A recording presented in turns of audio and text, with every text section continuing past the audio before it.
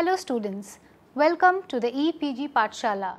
My name is Dr. Rajeshwari Sinha and in today's lecture I am going to talk to you about polysaccharides as energy storage. Let us see what objectives we are going to address in this lecture. To understand how polysaccharides act as energy source, to understand the structure and energy generation process from glycogen and also to understand the structure and energy generation process from starch, to understand the structure and energy generation process from cellulose. These were the various objectives that we will try to achieve in this lecture today. We hope you have an enjoyable time listening to this lecture. Introduction Polysaccharides are made of building blocks of monosaccharides which are cemented by glycosidic bonds. These polysaccharide undergoes enzymatic breakdown to form simpler sugar mainly glucose to form biological energy ATP and the green energy biofuel. These polysaccharides play central roles in storage of energy as well as the structural backbone formation in plants and animals. Polysaccharides such as glycogen, starch and cellulose serve as the main source of energy. This slide shows the concept map of this module. Polysaccharides can be broadly divided into glycogen, starch and cellulose. While glycogen is an animal related polysaccharide, starch and cellulose are mostly found in plants. The concept map shows the mechanism by which this is produced and in which they lead to the production of energy in the body. Glycogen and energy reserve polysaccharides. A polysaccharide glycogen is the most common storage form of glucose in animal cell in which glucose molecules are linked with alpha 1,4 glycosidic bonds in linear chain while synthesis of glycogen and branching is present after 10 glucose units linked with alpha 1,6 glycosidic bonds.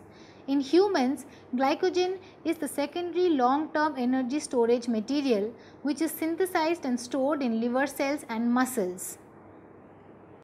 Glycogen stored in the liver is a source of glucose mobilized during hypoglycemia or low glucose concentration in the blood.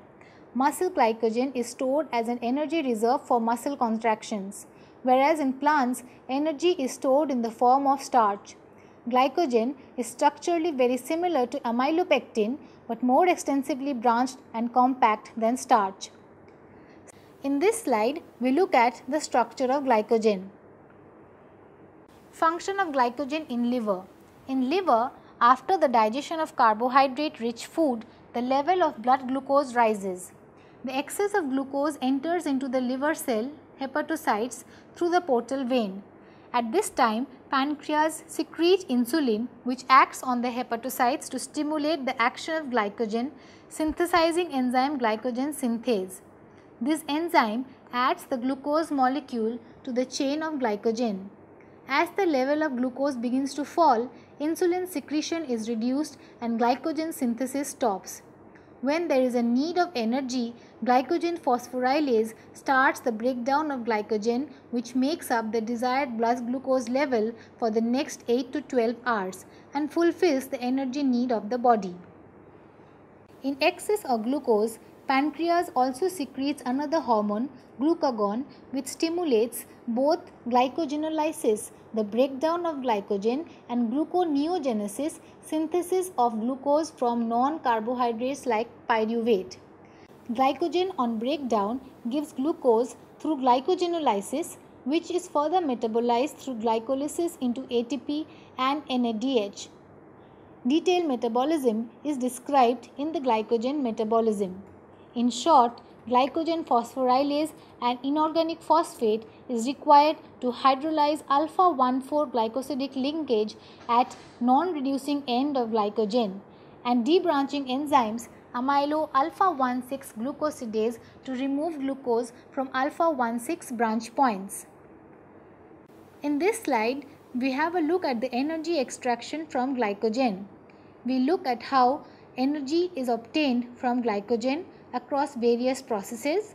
Glycogen is acted upon by glycogen phosphorylase to give glucose 1 phosphate upon which phosphoglucomutase acts to form glucose 6 phosphate which forms glucose.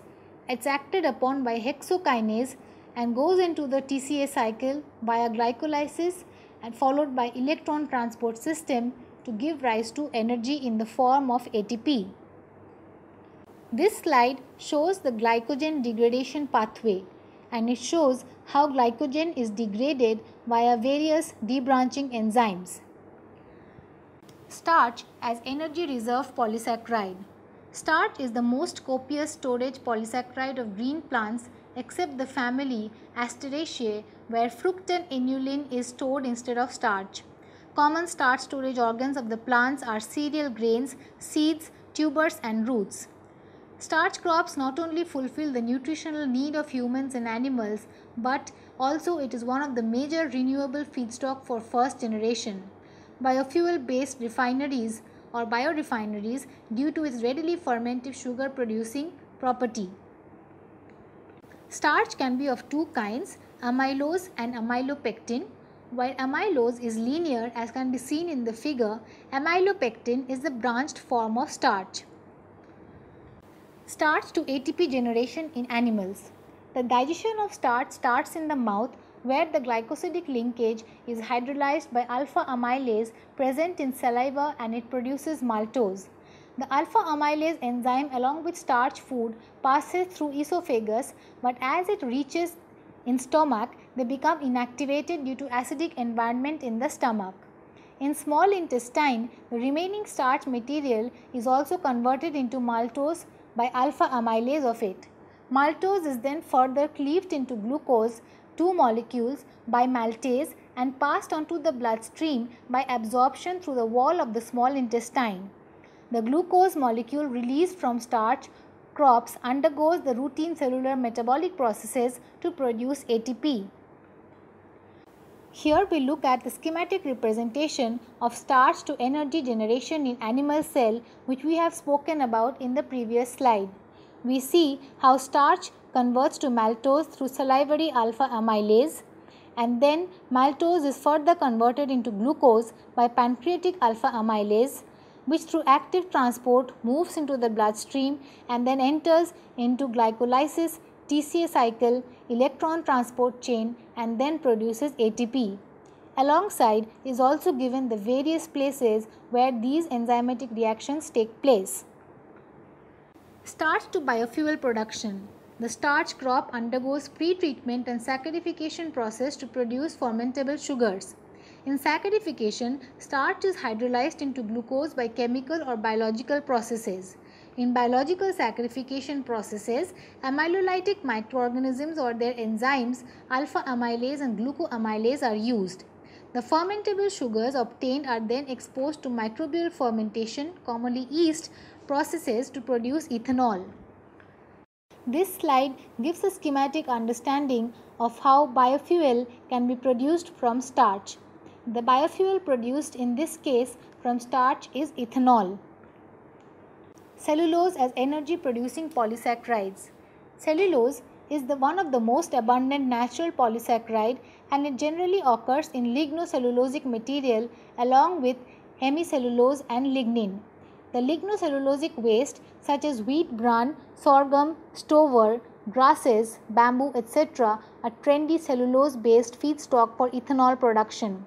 Cellulose is the most abundant unbranched complex homopolysaccharide formed by the association of many thousands of beta 1,4 linked D-glycosidic linked glucose subunits. Hydrogen bond and van der Waals interactions are involved in the microfibrillar stacking of the cellulose chains. The schematic diagram shows structural organization of cellulose in lignocelluloses. Cellulose to ATP generation in animals. The cellulose digesting enzymes are absent in human and therefore it is considered as a dietary fiber. But some animals such as termites and ruminants possess cellulase producing microbes such as Trichonympha in their guts. They digest cellulose into glucose and produce energy in the form of ATP by metabolic processes. Cellulose to biofuel production. Cellulose present in plant has been explored to get energy in the form of biofuel to replenish the depleting reserves of petroleum fuel. In order to get energy in the form of ethanol, cellulose is being made available to microorganisms to ferment from the lignocellulosic complex matrix of plants. To release cellulose from lignocelluloses, it has to be retreated so that lignin, the hard cover over it can be removed. Ethanol produced from lignocellulosic biomass. The crystalline nature of cellulose provides hindrance in accessibility of cellulase enzymes and the subsequent conversion of cellulose to glucose. Therefore, an efficient pretreatment process and potential saccharification enzymes are the driving force for the cellulosic ethanol production efficiency. Here we see a schematic representation of how cellulose is converted into ethanol. The various steps involved are pretreatment, saccharification and fermentation and the various intermediates involved are lignocellulose to cellulose to glucose and ethanol accompanied by the release of carbon dioxide. Students, we have now come to the end of this lecture. Thank you for being there with us. Let us summarize what we have learnt in this lecture briefly. Polysaccharides are made of building blocks of the monosaccharides which are cemented by glycosidic bonds. These polysaccharides play central roles in storage of energy as well as the structural backbone formation in plants and animals. Polysaccharides such as glycogen, starch and cellulose serve as the main source of energy. Glycogen of the three is the most common storage form of glucose in animal cell. In humans, glycogen is the secondary long term energy storage material which is synthesized and stored in liver cells. Starch on the other hand is the most copious storage polysaccharide of green plants. Common starch storage organs of the plants are cereal grains, seeds, tubers and roots. Cellulose, the last one, is one of the most abundant natural polysaccharide and it generally occurs in lignocellulosic material along with the hemicelluloses and lignins. Thank you for watching this lecture on polysaccharides as energy storage.